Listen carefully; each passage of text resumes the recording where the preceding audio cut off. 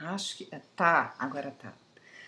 People, hello, que saudade, saudade, saudade. Tô, leio comentários assim, en passant, e tenho vontade de rir, tenho vontade de responder comentários, mas não rolou. Minha volta de Salvador foi bem traumática porque o Rubens estava tá, passando muito mal e eu fiquei de sábado até segunda-feira à noite realmente bastante preocupada com ele e atrás dos assuntos dele e dos meus também, né? Então foi barra pesada.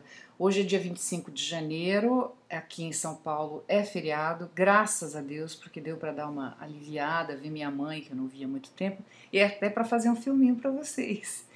Então, deixa eu contar, o show foi bárbaro, acho ótimo existir YouTube, porque aí todo mundo vê e fica mais fácil. O show foi ótimo, a Mônica Salmazo é ótima, uma pessoa, gente fina pra caramba.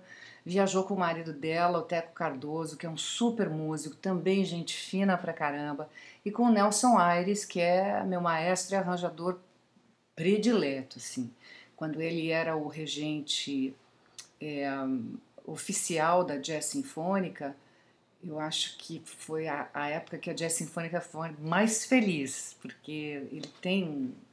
Enfim, o cara é demais, é o máximo. E eu fui com os meus músicos, que também são o máximo, né? E, e ficou lindo. Estava esgotada completamente a lotação, não tinha mais um ingresso nem para contar a história. Foi bonito, foi emocionante, foi gostoso de fazer. Estou até falando com o Deco, meu produtor, para ver se ele consegue trazer ou montar esse show aqui em São Paulo ou em outras capitais, porque vale a pena, é muito legal. Tomara que tudo dê certo. E de novidades tem uma coisa: o José Pedro me convidou para participar de um projeto dele. Na verdade, a Marina Lima me ligou dizendo que ela achava que tem uma música que ia ficar bacana na minha voz. Achei tão bacana dela isso, né? Bacana quando um colega pensa no outro achei muito legal mesmo. Enfim, o Zé Pedro está fazendo um disco, um CD, em homenagem ao Guilherme Arantes. Está convidando várias cantoras para participarem desse disco. E eu acabei sendo convidada via Marina Lima. A música é linda, eu topei e vou fazer, devo gravar na segunda ou terça-feira da semana que vem. A música é linda e vai ficar linda demais com, vou gravar com dois violonistas que são é, molecada, gente de novíssima geração, mas que tocam, mas como eles tocam, eles têm excelência, que é uma qualidade rara hoje em dia. E eles têm excelência na, na performance deles. É muito legal, vale a pena, vale a pena. E a música, sabe qual? Eu não sei o nome, não decoro o nome. Quando eu fui ferido, vi tudo mudar. Sabe qual é? É essa. Então, eu tô contente de participar.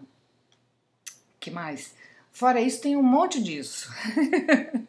tem um monte de coisas que vão rolar. Eu não sei se eu deixei claro, mas eu vou fazer dois dias de show em fevereiro no Sesc Pinheiros. Estou até olhando aqui, porque não pode existir pessoa mais desligada do que eu para essa coisa de data, né?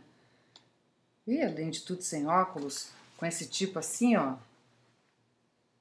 Ninguém merece, né? Então eu vou fazer dois dias, acho que é 23 e 24, ou 24 e 25 de fevereiro, no Sesc Pinheiros. E já aviso logo de cara que vai ter modificação no repertório, porque faz tempo que eu estou cantando essas mesmas músicas e a gente vai modificar algumas.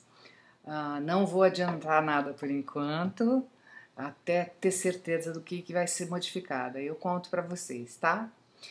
Então é isso aí, people. Quero mandar um maior beijão, abraço em todo mundo, dizer que eu posso não estar tá aqui fisicamente. Falar isso na internet é absurdo. Mas eu posso não estar tá aqui fisicamente, mas estou em pensamento de verdade, que eu penso no blog 24 horas por dia. E beijo para todo mundo escreva. O Paulinha escreve, eu tô com uma saudade de você. De hoje que você não escreve mais no blog. O que aconteceu? Ninha, que passa, Ninha?